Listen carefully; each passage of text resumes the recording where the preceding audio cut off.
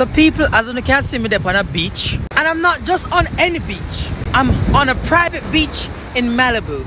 You ever know when you're there somewhere it's just not for poor people? Imagine me out here walk the sun on the beach. And this old white man a jog past me. Hear this man to me. Hey, this is a really nice beach.